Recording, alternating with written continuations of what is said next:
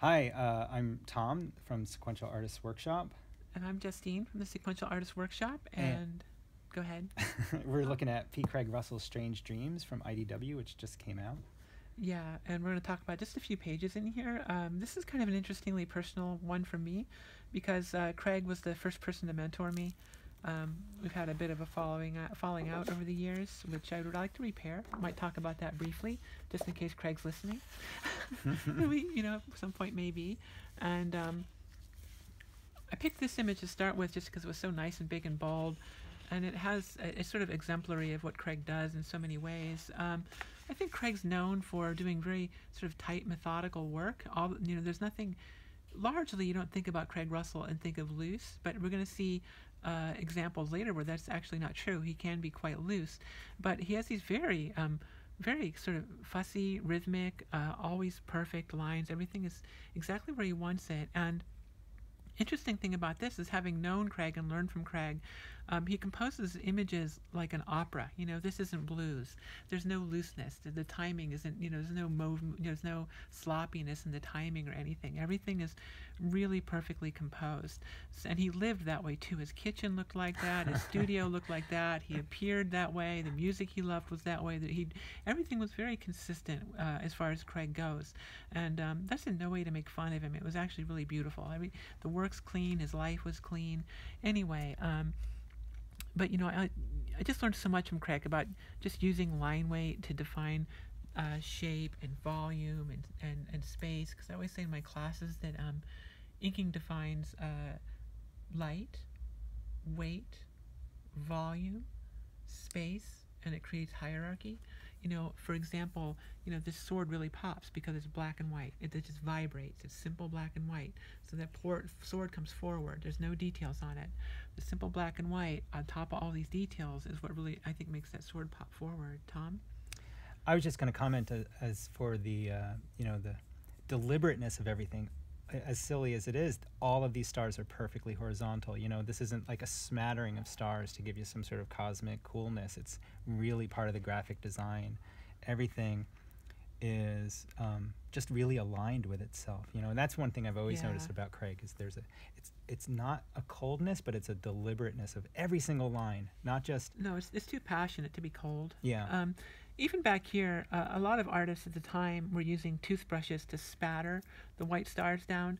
And you can tell when looking at these that Craig was trying to mimic the look of spattered stars.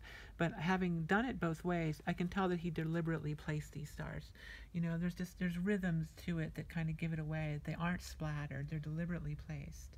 Um, I think that would be, you know, the best word to describe Craig Russell is deliberate. Um, I think we're going to look at this image here first. Um, only because it kind of uh, immediately it actually looks you know there's a lot of action in it a lot of motion a lot of intensity. It doesn't have that kind of stoic operatic look that i think i think we you know we think of craig in that way. But when you look at the work you know like any great artist he's not a one trick pony right?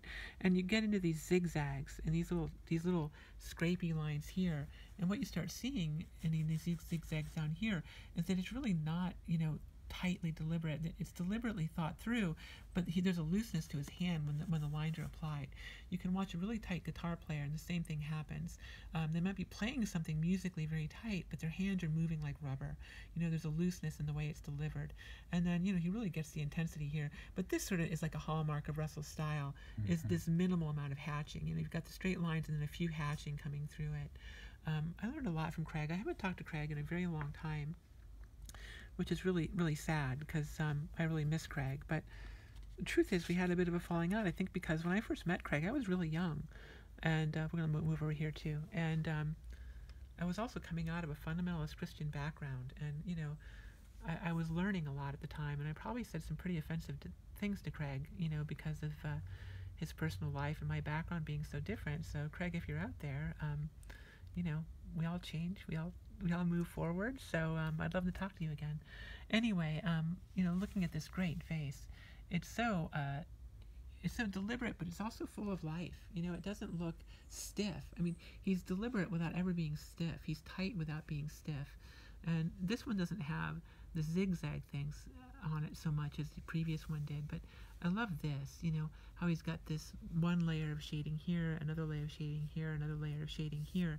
And um, he does that a lot too, where he uses really thick lines and then medium lines and then thinner lines, you know, to create, you know, sort of, uh, I call them groupings. You know, there's, like a grouping here a grouping here. I can tell that his hand probably moved in one swift motion here, and another motion here, and another motion here.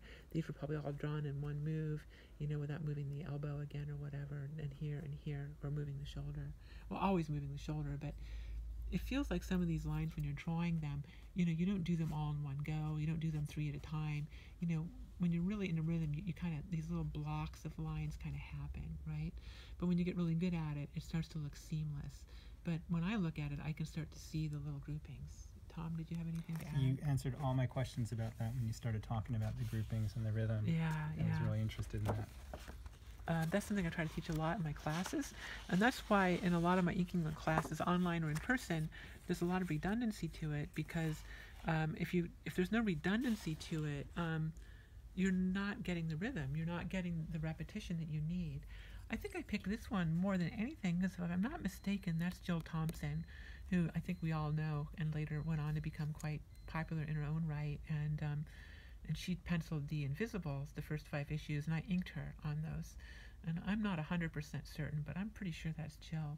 Um, if Craig and Jill are out there, they can correct me if I'm wrong, but sure does look like her quite a bit. Um, Craig used a lot of live model, not live models. He would take photographs, and they would pop up. The models would pop up in various books, you know, even beyond the one he was using. But you know, here we have that again with the hatching. You've got these lines going this way, these lines going this way, and then these lines going horizontally across the face. And then this just perfectly, all these lines in perfect rhythm all the way down, all done with a, a 108, Hunt 108 nib. So that's what you're really seeing here is this, it's not a brush and it's not the 102, which most of us were using then, it's a 108. What makes the 108 interesting is the 108, uh, unlike the, it's like a, it's like that weird space between a brush and a pen because the 108 is a little longer and it has more of a feel of a brush. It's you know because I've, I've tried the 108s before, and I, I don't know if he's still using them because it's been so long, but he probably is. This is so Craig too, just the fluidity of all this down through, and then this hair, which you know I know Craig was a fan of Art Nouveau and Mucha, and you know what this shows here is some of that, you know. The Mucha knowledge of how to use hair to create design by repeating these curves, but it doesn't look like Mucha. Here again, you know, these two repeating curves are very Mucha-like. These Yeah, repeating curves are very Mucha-like, but it doesn't look like Mucha.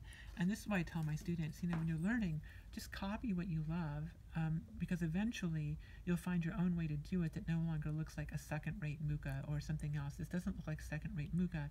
It looks like P. Craig Russell that a learned eye can figure out, you know, that's where Mucha came from. Here, interestingly enough, we talked about the loose zigzags earlier. Look at how deliberate and tight those zigzags are. So that's the thing about even the zigzags in Russell's work. Um, they're not always, they're not one dimensional. They're not all loose. They're not all tight and deliberate.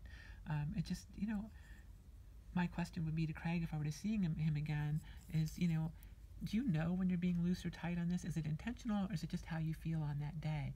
And that's one of the interesting things about inking is a lot of it is intuitive and instinctive. And, you know, that's why I say learn as much as you can, master all these rhythms, do all the boring stuff. Because once you do that, then you have the flexibility to tighten up on these zigzags or to go loose on the zigzags. Tom, do you have anything great. to add? Well, I was curious about the the contrast that he's creating that br- pops these eyes out. Look, you have this like row of black Yeah, that are yeah, sort of that the eyes are sitting upon this, this, this. I mean, it's just so conscious and it's just so powerful. and it makes those eyes really come It's forward. even more conscious than that because not only do you have this going through here, Mhm. you know, it connects with the eyes, connects with the nose, but then it's balanced out by the Mhm. black down here. And what I try to tell my students about spotting blacks is imagine if these blacks were gone. What would happen to that image? right. It'd float up a little. Which now, as far as the consciousness goes, if you pull back just a little bit so you can see all three of these panels, um, including this one on the left, what you'll notice is that the blacks are distributed evenly across the panel in this arc, all the way across the bottom of the page. Mhm.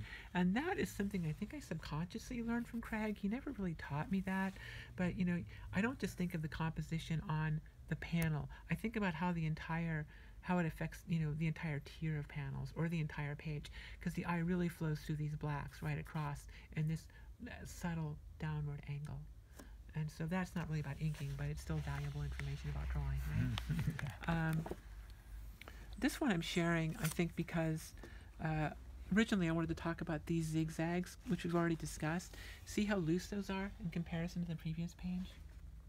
And look down here. They aren't even the same weight. I mean, those are really loose. Here he's starting to look more like Al Williamson. And just for fun, let's just go back because they're right back on top of each other. Oh, oh I lost the sticky on that. Anyway, uh, but you saw the tighter zigzags earlier.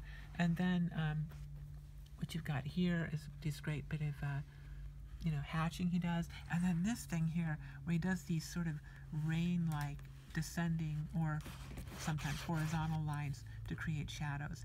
You know, my instinct would have been to put cast that into black, but Craig instead puts these really interesting lines in here. I would never make that choice um, because it suits Craig. It doesn't suit me, you know.